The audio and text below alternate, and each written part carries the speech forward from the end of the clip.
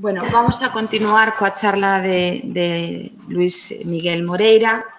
Eh, ele é profesor auxiliar no Departamento de Geografía da Universidade do Miño, eh, no campus de Guimaraes, decíamos. É licenciado en Xeografía pola Universidade do Porto e mestre en Historia das Populacións e doutor en Xeografía Humana, ambos pola Universidade do Miño. Eh, novamente, como xa comentei pola mañá, tedes o currículum extenso nos, eh, na documentación proporcionada. Eh, no seu caso, eh, pedímoslle que viñera para seguir analizando a fronteira desde esa perspectiva territorial, a fronteira eh, da mesma zona eh, da raya galaico eh, portuguesa, pero neste caso a través da, da cartografía, eh, que é un, bueno, un traballo eh, que se basea no, na súa tese de doutoramento E moitas grazas por, por estar connosco. Muito obrigado. Obrigado, Rebeca. Uh, muito boa tarde a todos, antes de mais. Uh, não faz mal. Uh, é, é, com muito gosto que estou aqui em, em, em Santiago e aceitei o, o, convite que me foi formulado. E, e por essa razão, uh, o desafio foi falar da, da fronteira gerada pela, nos mapas e pelos mapas, e portanto a escolha como não podia deixar de ser, foi pelo tramo da Galiza e do, e do norte de Portugal. a raia luso-galega tem cerca de 300 km de extensão, representa apenas 25% da, de toda a extensão da raia, mas curiosamente foi só neste tramo que se registaram os maiores disputas fronteiriças é quando da assinatura do Tratado de Limites em 1864. Portanto, é, é, acaba por ser uma raia uh, de contendas, de, de, de, diferentes, mas nem por isso, como veremos, foi a raia mais bélica de todos. Uh, o teatro de guerra que sempre caracterizou Portugal e Espanha em boa parte por causa da nossa identidade, a nossa identidade construída por oposição em Espanha, claro. Uh, mas o, teatro de operações do, do Trás-os-Montes e, e, e, o Minho uh, foi sempre um teatro de guerra secundário. Eu quase diria que isto é uma fronteira como se fossem dois irmãos, estão sempre em guerra e não deixam de ser dois irmãos. Uh, e por isso é que a fronteira aqui é mais interessante. É uma fronteira política que não é necessariamente coincidente com a fronteira cultural, linguística, gastronómica, etc. etc. Uh, ao, ao, contrário de boa parte da, da, da, outra, da outra raia. Enfim, mas uh, a narrativa que eu vos vou aqui apresentar é, é, é cartográfica e, e, portanto, é apenas esse contributo. o contributo dos mapas é apenas uma. uma uma outra perspectiva que, eh, que complementa e que se complementa com todas as outras.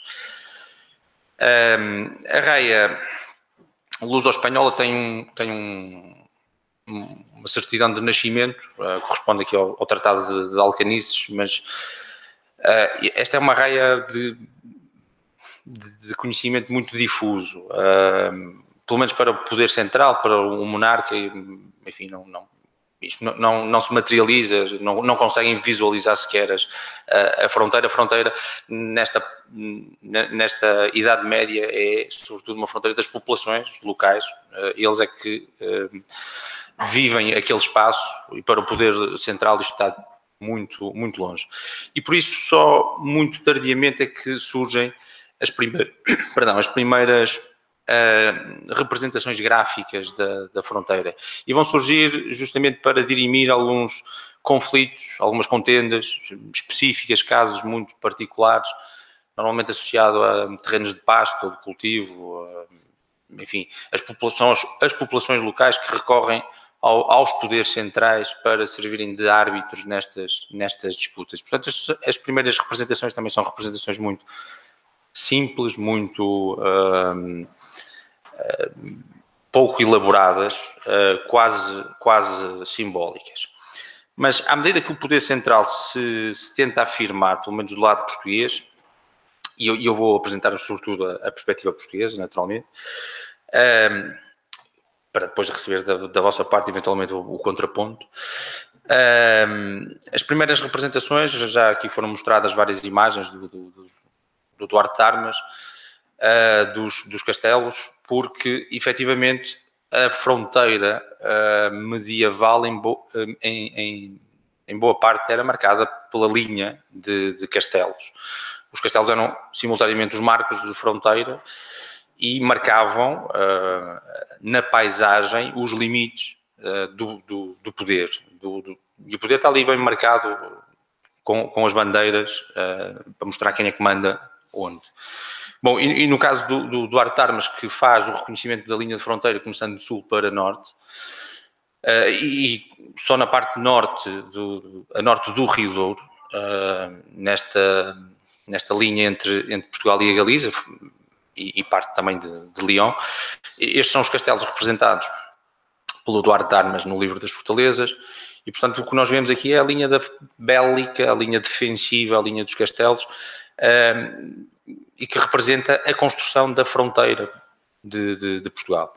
E, sobretudo, quando olhamos aqui para a linha do Minho, percebemos isso mesmo. Uh, há uma série de, de, vilas uh, muralhadas que correspondem a, a enfim, a, a, a bastides, a, cidades planeadas, pensadas para promover a ocupação e fazerem a fronteira, porque, repito, a fronteira do, do entre o norte de Portugal e, e, e, a Galiza, durante muito tempo, hum, enfim, o limite político não era mais do que isso, eh, apenas um limite político, porque cultural e linguístico, etc, etc, não, não, não era coincidente. Bom, temos aqui algumas representações da, da, da raia seca, porque a fronteira da Galiza é mais do que o, o rio Minho, uh, e os castelos uh, servem como já tinha dito, de baliza um, para, para as populações.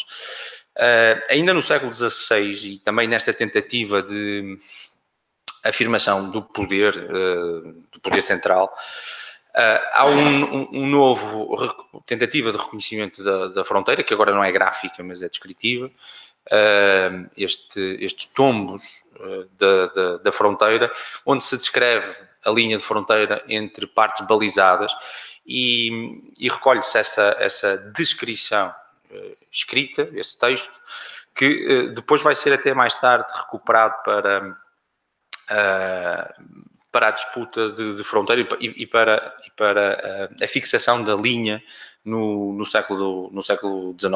Em todo caso, não são descrições muito precisas, não são geométricas, obviamente, e normalmente não contribuíam para esclarecer os limites efetivos. Uh, e por isso, provavelmente, a primeira vez em que se vê a fronteira de Portugal marcada num, num mapa é neste, neste primeiro mapa, o mais antigo mapa de Portugal, o mapa de Fernando Álvares Seco, um, de 1561. E aqui a linha de fronteira é interessante, para já porque é completamente inventada. Uh, esta linha de, desenhada no mapa não, não significa nada, significa apenas que, que existe um limite, que esse limite é intencional, mas a correspondência com a realidade é apenas uma coincidência. Uh, e coincidindo com este limite definido pela linha, uh, se repararmos na imagem, na imagem de conjunto, toda a toponímia só existe em Portugal uh, aquilo que hoje é o território espanhol, é um vazio de informação. Uh, e até os rios, se repararem, se recusam a nascer em Espanha. Né?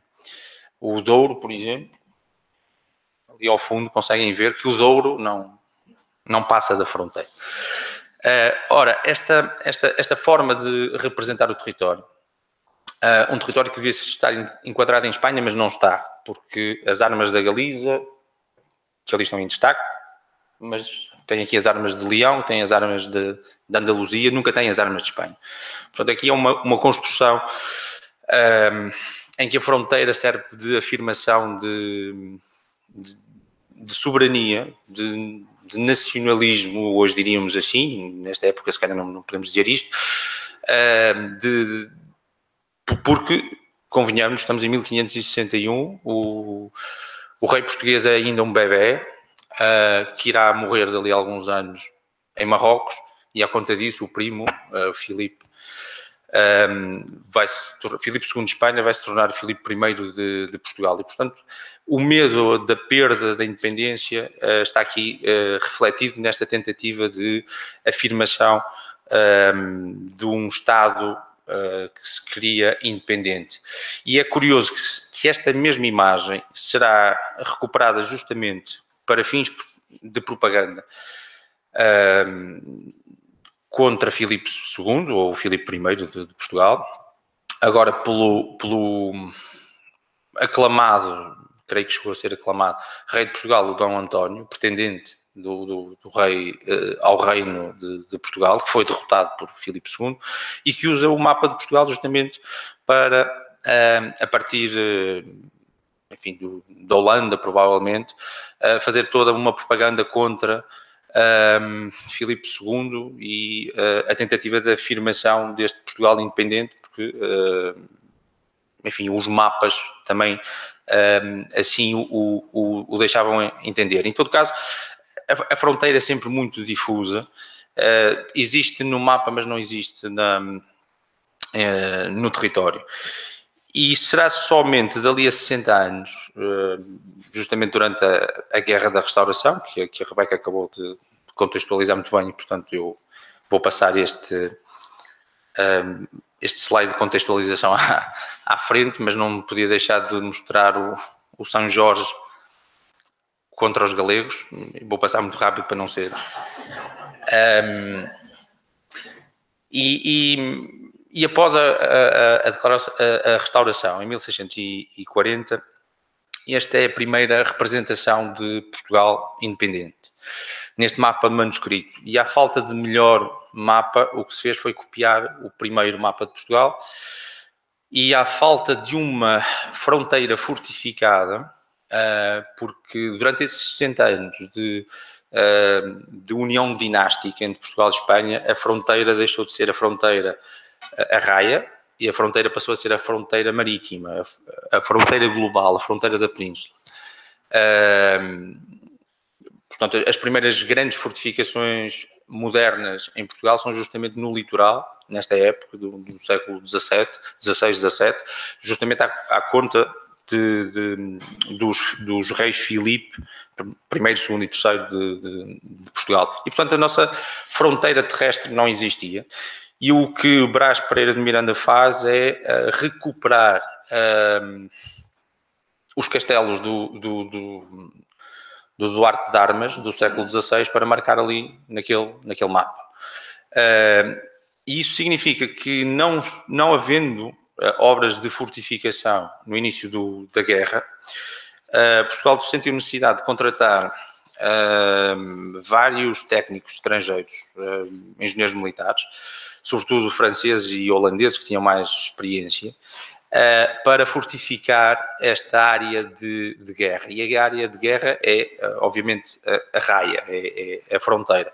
E este caso do, do Minho, uh, este que parece ser o mais antigo mapa do, do do Alto Minho do, no século XVII, o que nos mostra é justamente o teatro de, de, de operações, de um lado e do outro, numa margem e noutra, porque esta é uma guerra marcada por incursões e razias de um lado e do outro, ah, de ataques muito limitados, ah, limitados, enfim, à, à, tecnologia que existia ah, na época, e aqui também se mostra aquelas que parecem ser as duas obras de fortificação que seguram dois passos importantes do, do, do território.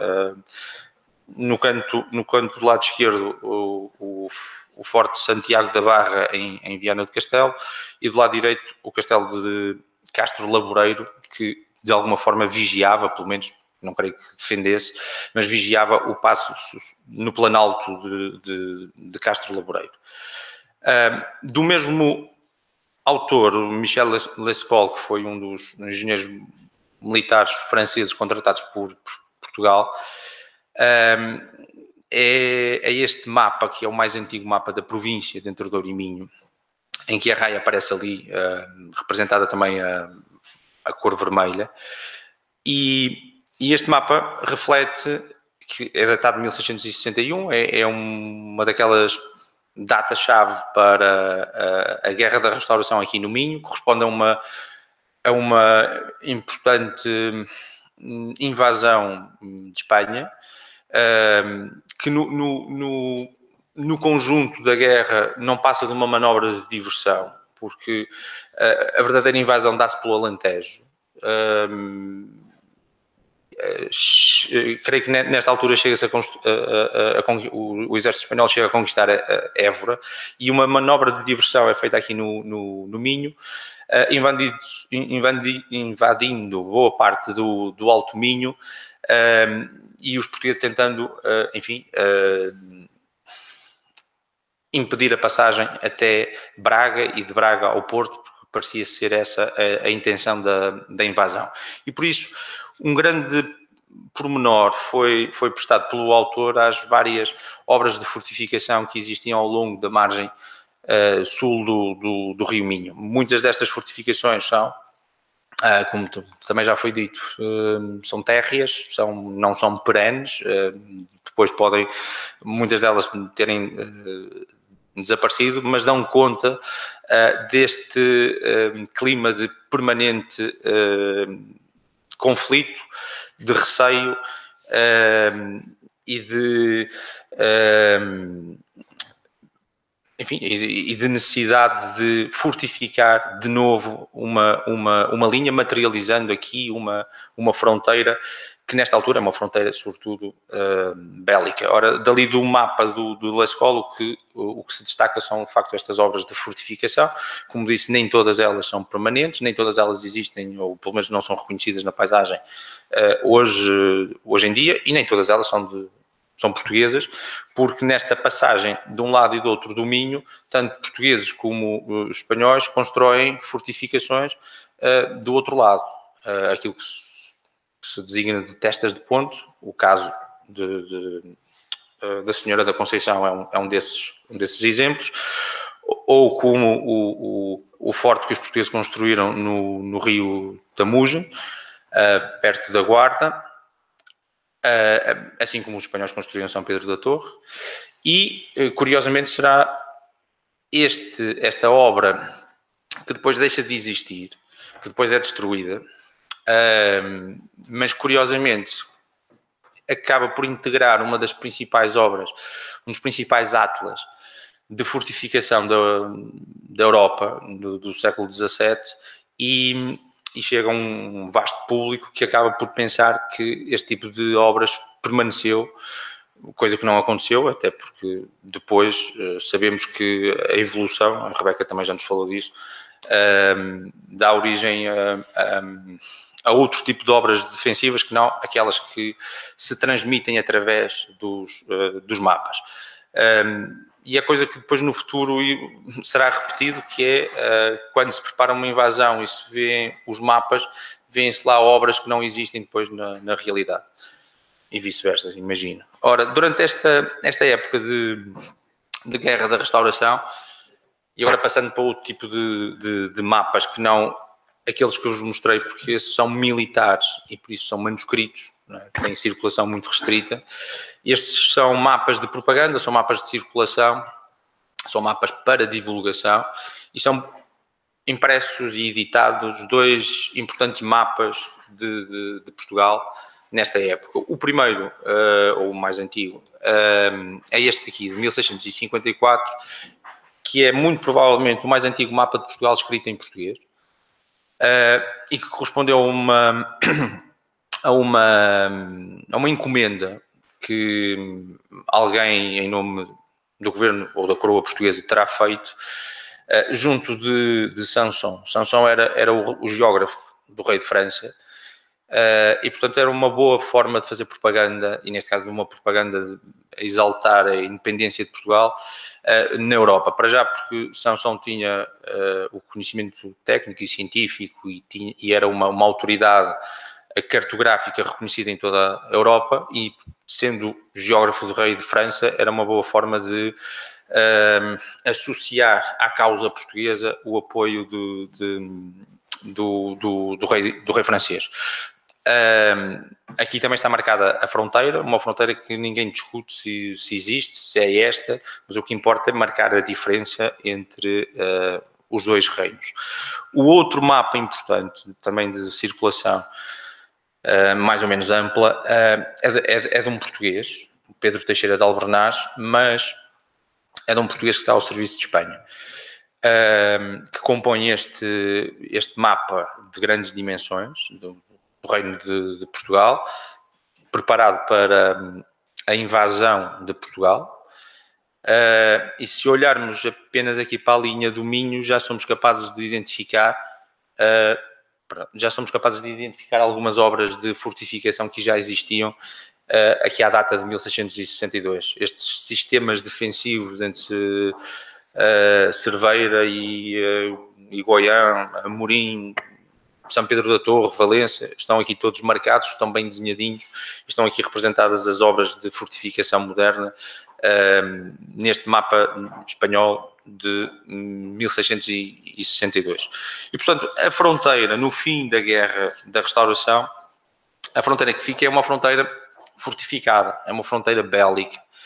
Uh, agora são as, as, fronteiras abaluartadas que marcam, que balizam o, os limites do poder, uh, sempre numa perspectiva de poder central. Uh, e aqui ficam marcadas apenas as, as que sofreram obras permanentes, uh, não estão as, as fortificações, enfim, de térreas.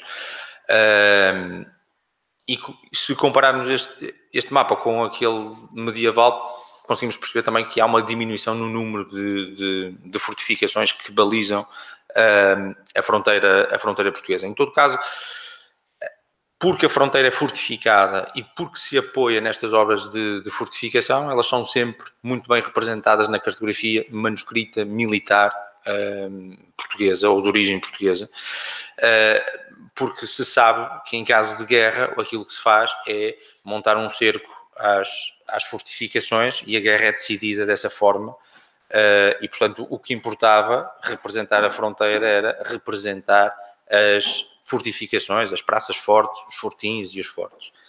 Bom, ehm, nós vamos ter de saltar de guerra em guerra, porque ehm, os mapas são produzidos sempre em contexto bélico.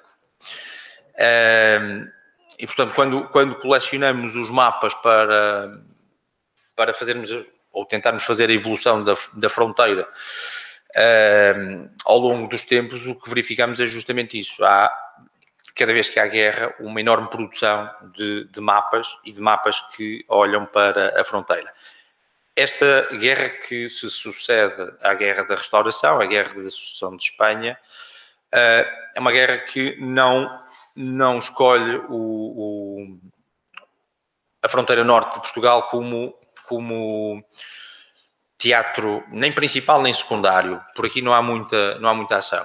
Uh, a maior parte das batalhas deram-se eh, no sul, na, na, na raia uh, extremenha, uh, e, não, e não no norte. Em todo caso, porque a ameaça pairava,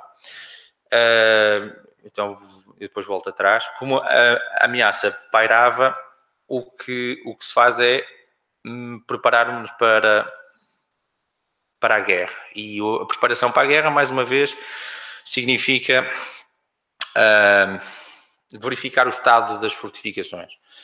Uh, e este é, um, este é um álbum interessante feito por uh, Manuel Pinto Vila, Vila Lobos, que é o discípulo de Lescol. Uh, e, que faz este, este levantamento do, do, estado de conservação das, das, das, principais praças do Entre e Minho para, no caso da guerra se perpetuar, uh, a ameaça sobre o Minho uh, era real e, portanto, importava defender a fronteira e, mais uma vez, defender a fronteira significava, então, uh, olhar para as obras de, de, fortificação.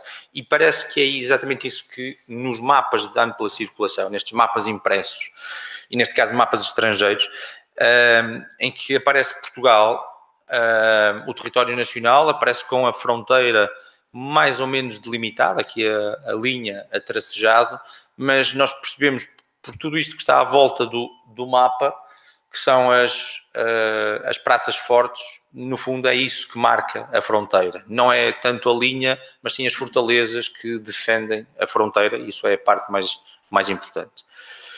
Uh, e saltamos para o conflito seguinte, vamos, vamos assim saltando uh, de guerra em guerra e chegamos a esta guerra que tem o um nome de Fantástica uh, e tem o um nome de Fantástica porque parece que não aconteceu.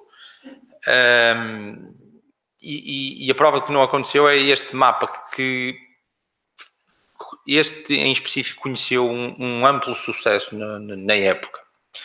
De um, de um italiano, mas que trabalhava para, para o rei de França, uh, o Regi Zanoni, que imprime este, este mapa, põe-no circular e quando nós uh, o analisamos, verificamos que ele tem aqui inscrita, uh, por exemplo, só no Entrador e Minho,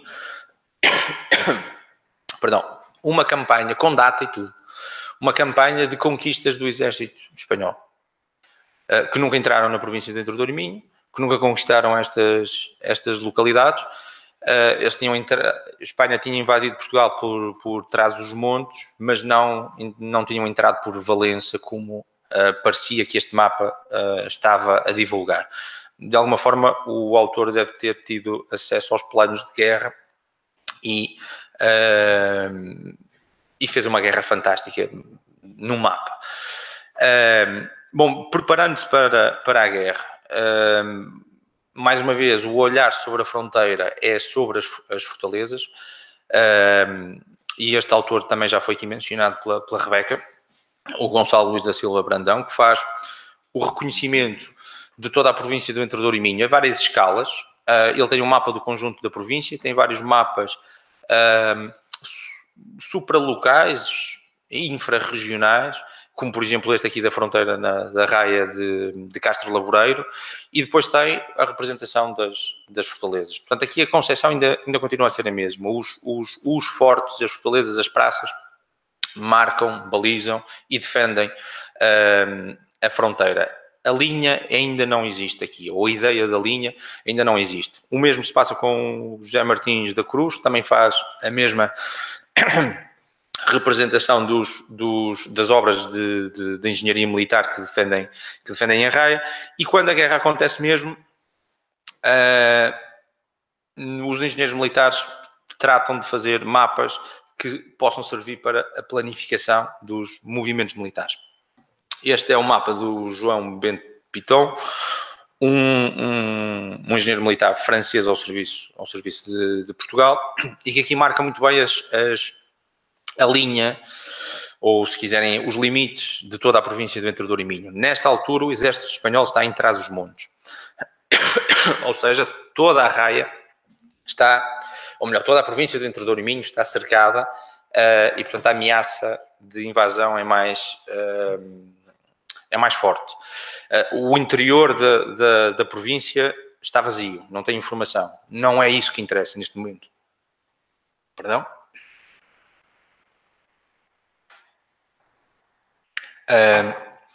O, o, que interessa é a representação das, daquilo que se passa na linha de fronteira. E o que se passa na linha de fronteira são, uh, mais uma vez, as, as fortalezas pré-existentes, mas também uh, todo um conjunto de, de obras estratégicas para os movimentos militares, podem ser, por exemplo, as pontes uh, de, sobre alguns, de alguns rios, estradas também, e a necessidade de se proceder a obras de, de defesa uh, não permanentes, como alguns entrincheiramentos em locais estratégicos definidos pelo, pelo, pelo engenheiro militar. Engenheiro militar que depois, no fim da guerra, faz a avaliação de, do estado de conservação das, eh, das fortalezas. Perdão, eh, Valença analisa aquilo que se passou em Trás-os-Montes, com outro mapa também uh, para conter o inimigo na província que tinha sido in, invadida, e depois faz, já na, na, na Raia Seca, em Chave,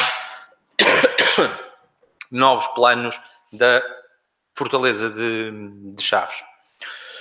Uh, também sobre a mesma província, para termos uma ideia de como é que agora a fronteira era lida, o José Maria Cavanha faz uma ampla, amplíssima descrição da, da fronteira, ponto por ponto. Cada, cada um destes pontos está marcado no mapa, mas é para o leitor perceber, uh, à medida que percorre o, a fronteira na, na, no mapa, uh, para perceber o que é que se passa em cada um dos lugares que ali está uh, marcado, e mais uma vez o interior não, não interessa, portanto a, a fronteira agora de facto já se aproxima dessa noção de, de, de linha, mas as representações são sempre, uh, mantêm sempre a atenção focada nas, nas obras de fortificação. Uh, o conflito seguinte, e creio que será o último entre Portugal e Espanha, um, ehm, mais a sério, um, ehm, decorre no, entre os finais do, do, do século XVIII e o início do, do século XIX. Uh, eu aqui agrupei eu como não sou historiador posso fazer isso sem, sem ser acusado uh, de estar a, a distorcer. Uh, eu chamei-lhe guerras, posso-lhe chamar guerras peninsulares, uh, quer tenham os franceses ou não misturados, porque de facto elas passam-se aqui na, na, na península. em finais do século XVIII, Portugal participou de forma um bocadinho desastrosa trosa uh, naquilo que nós designamos a Guerra do Roussillon, numa campanha do Roussillon, uh, contra a França revolucionária. Uh, e quando a França e a Espanha chegam a um, a um acordo de paz, Portugal ficou desamparado em termos diplomáticos e, portanto, ficou sempre com receio de invasão agora por parte de França e de Espanha. Uh, até porque se esperava a vingança francesa, uma vez que as tropas portuguesas tinham participado nessa campanha. Então, são elaborados mapas das fronteiras, com planos defensivos, como este daqui, de Custódio Vilas Boas, em 1796, que prepara um minucioso plano de defesa da província do Entre e Minho, mas também tem uma segunda parte que é um plano de invasão da Galiza, no caso do Alentejo, caso o Alentejo fosse invadido pela Espanha, uh, faríamos aqui no Norte, os portugueses, um movimento de conquista da Galiza para depois, enfim, dividirmos as, as, as atenções militares e no final da guerra podermos trocar uh, as partes conquistadas.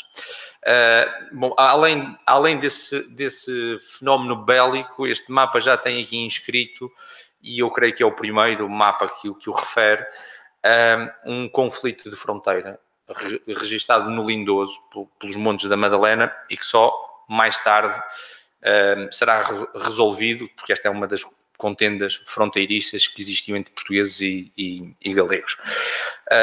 mais uma vez, as, as, as fortificações, na raia úmida, na raia, na raia seca, uh, mas agora já se nota, até por este exemplar e pelos seguintes, que as concessões militares da época já terão sofrido uma, uma, uma, alteração. A guerra já não é a guerra de cerco, já não é uma guerra de reconquista de, de, de praças fortes, é uma guerra de movimentos, uma guerra mais rápida, uh, de grandes manobras militares, de exércitos de maiores dimensões, pelo menos era assim na, na Europa napoleónica e, portanto, um, a estratégia e as táticas militares não, não se restringiam ao espaço abaluartado. Uh, os rios, as montanhas, portanto, se quiserem, a topografia ou a geografia, vão exercer um, um fator importante para o planeamento das ações militares. Aliás, como os franceses bem perceberam quando invadiram uh, Portugal por três vezes um, e perceberam que afinal uh, a geografia podia ser uh, um fator uh, tão forte quanto uma fortaleza.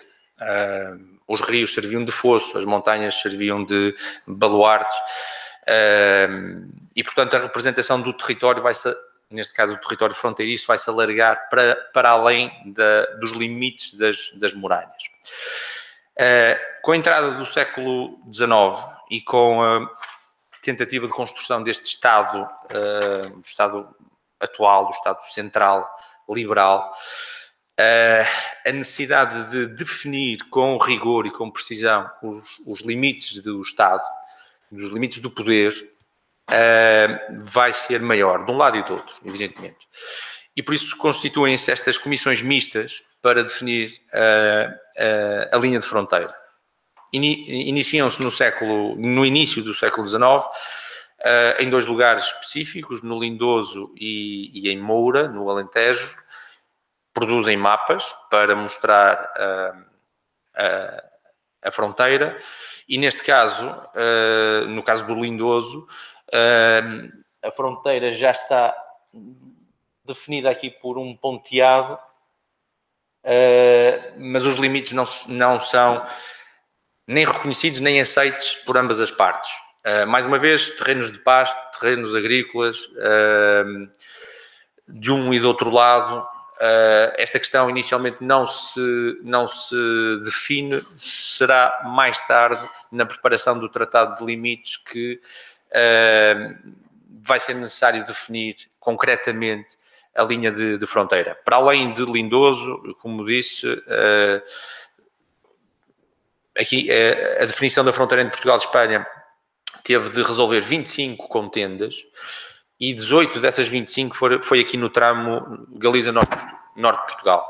Para além do Lindoso, o provavelmente mais famoso é o Couto Misto, que foi trocado pelos povos promíscuos, uh, umas quantas aldeias trocadas entre Portugal e, e Espanha, porque a fronteira não estava definida e agora é necessário definir a fronteira, fazem-se mapas mais rigorosos, mais precisos, já não tão uh, diversos nem difusos como eram os, os, os anteriores, fazem-se propostas, assinalam-se muito bem os territórios que estão em, em disputa para poder, um, pela parte dos políticos ser e dos, e dos diplomatas serem um, trocados ou definidos ou divididos para finalmente se poder assinar o tratado que definia uh, pela primeira vez a fronteira de Portugal e Espanha. Afinal, aquele tratado de Alcanices de 1297, que é tido como uh, aquilo que deu origem à mais antiga fronteira entre dois Estados, uh, afinal, a fronteira propriamente, como nós hoje a reconhecemos, só tem 150 anos, ou pouco mais de 150 anos, com a assinatura deste, deste tratado. E ainda assim, este tratado não marca a fronteira. Uh, define em traços gerais o que é que é a fronteira, e a partir daqui é preciso marcar a fronteira. E a fronteira é marcada de duas formas. Mais uma vez em mapas, e portanto faz um enorme esforço para se definir a linha de fronteiras em termos cartográficos, agora eh, de caráter topográfico e geodésico, portanto o mais científico, o mais rigoroso possível. E por isso eh, as comissões mistas de limites eh, vão conseguir produzir três séries cartográficas, o que não é coisa pouca. Obviamente, num trabalho que hum, demorou mais de 40 anos a ser produzido. Nós temos a fronteira levantada no, na segunda metade do século XIX à escala de 1 para 100 mil. A carta coreográfica dos limites de Portugal, da fronteira entre Portugal e Espanha, tem mais ou menos este aspecto. 4 km de representação de território para cada lado impressa cores. Temos uma outra série que é uma série, uma escala de 1 para 50 mil, toda a linha de, de fronteira, que também representa uh, uma parte do território de lá e outra parte do território de cá. E naqueles, naqueles sítios onde a fronteira foi mais difícil de estabelecer, produziu-se uh, mapas na escala de 1 para 10 mil, que é um, uma escala já de de grande pormenor, de, de uh, porque aqui a linha tinha que ser mesmo uh, muito bem definida e muito bem demarcada. E curiosamente ainda há uma outra produção que diz respeito ao, ao Rio Minho, quando nós todos pensávamos ou podíamos pensar que era mais fácil estabelecer a fronteira num rio, afinal é a parte mais difícil de estabelecer as fronteiras. E isto porque a fronteira num rio muda sempre todos os anos. E por isso, sobretudo aqui no Minho, no Rio Minho, a, a fronteira tem que ser definida todos os anos e verificada se não muda de sítio. E a fronteira é um facto, muda de sítio todos os anos. um, consoante o regime do caudal do Minho, que às vezes leva mais água, outras vezes leva menos água, o, cal, o canal do rio, e isto porque a linha de fronteira não é uh, o meio, a metade do rio, é o ponto mais profundo do, do, canal, é o tal VEG do rio. O tal VEG do rio sofre variações de ano para ano e é preciso defini-las. E, portanto, não foi fácil definir a fronteira do, do Minho. Uh, e por isso foi necessário fazer um, um atlas especial do, do Rio Minho, na escala, imaginem, de 1 para 2.500. Nós quase que vemos as pessoas a assinar ali no mapa. Estão lá todas marcadas, assim como estão marcadas as propriedades, as pesqueiras, uh, as barcas, evidentemente, todas as obras uh, foram inventariadas para se definir a linha de, de, fronteira. Nunca, como nesta altura, a fronteira, nunca, nunca nesta altura, até então, a fronteira foi tão reconhecida uh, cartograficamente com uma precisão uh, absoluta. E depois deste investimento todo, evidentemente que muito deste, deste avanço técnico, deste investimento total, uh, passou para a, a, cartografia, hum, digamos, de ampla circulação, acessível ao público, tanto a civil como já veremos a, a, a militar, e portanto aquele reconhecimento da fronteira depois passa para para a cartografia topográfica civil, aqui no exemplo da, da, da carta da Carta de Portugal na escala de 1, 1 para 100 mil, e reparem como uh, a fronteira está marcada com um pequeno uma pequena parte do território espanhol cartografada do outro lado da fronteira, que depois diminui um bocadinho na segunda, na segunda edição, o resto é vazio. Parece que estamos outra vez no, no mapa do, no primeiro mapa de Portugal, em que se apaga a Espanha para se exaltar o território nacional. Na escala 150 mil é a mesma coisa, inicialmente representa-se mais território, depois vai-se diminuindo o território, vai-se diminuindo o inimigo. É? Desculpem esta do inimigo. Enfim. As representações mais recentes Uh, a última edição da, da, da, na escala de 1 para 50 mil da Carta Coreográfica de Portugal de 2011, enfim, uh, mudam as técnicas de representação. Há aqui uma, uma melhoria na, na, na, imagem, mas uh, a imagem geral mantém-se, representa-se um bocadinho do território e depois apaga-se. Em termos de em termos de cartografia militar, é mais ou menos a mesma coisa, só que agora ao contrário. Uh, inicialmente não se representa muito, a densidade de informação é maior do lado português do que do lado espanhol. Nas edições mais recentes já há um, um equilíbrio na representação, quer na Carta Militar de Portugal na escala 1 para 250 mil, quer, e, e aqui sim com particular evidência, a Espanha aqui não existe, é um, é um vazio, é, termina aqui na, na, linha de fronteira, uh, que que na, na, edição mais recente já, já, já tem direito a aparecer outra vez, e na carta de 1, 1 para 25 mil também a mesma, a mesma situação, In, inicialmente o vazio e agora, pronto, mais democraticamente e em nome da amizade peninsular, representamos o território todo e, pelos vistos, não há, não há grande problema. Portanto, como, como conclusões gerais, um, analisou-se aqui uh, dois tipos de mapas, os impressos de uso geral comercial, uh, aparentemente sem grandes intenções políticas, mas só aparentemente, e os mapas militares uh, manuscritos de uso restrito e, e, e, tratados como, como documentos secretos. Ambos representam ideias de, de, de, de fronteira. No caso dos, dos militares, inicialmente a fronteira apoiava-se na, na, na, sequência de, de obras militares, de fortificações e de outras obras militares, formavam uma linha, mas encadeada nessas obras de, de fortificação. Quando o, o Estado liberal uh, é constituído, uh, a necessidade de definir bem a linha de fronteira.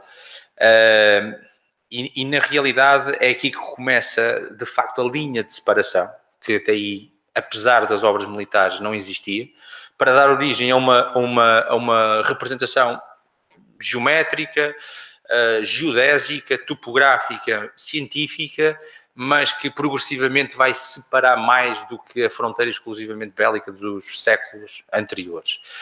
Uh, a fronteira deixa de ser só militar e bélica e vai, e vai se transformar em fronteira fiscal, aduaneira, uh, de contrabando, uh, e que por isso mesmo também foi geradora de outros patrimónios que não exclusivamente os militares. Eu sei que devia só falar dos, dos patrimónios militares, mas não resisto.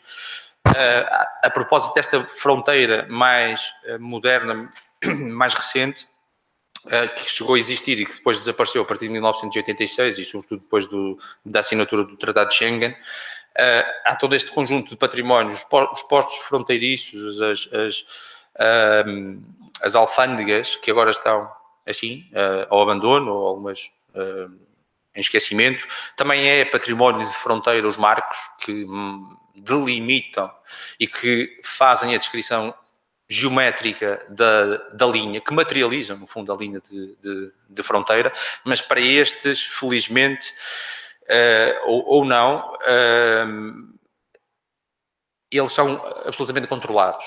Uh, enfim, quer de um lado, quer do outro, compete aos militares verificarem e manterem os, os marcos de fronteira.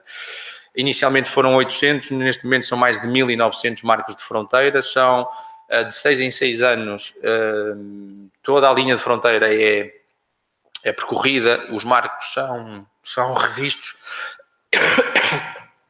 E existe do lado português, da parte dos militares, aplicações até em WebSig que controlam cada um dos marcos, estão georreferenciados, estão identificados, descritos geometricamente. Não se vai dar o caso de alguém pensar que a fronteira não existe.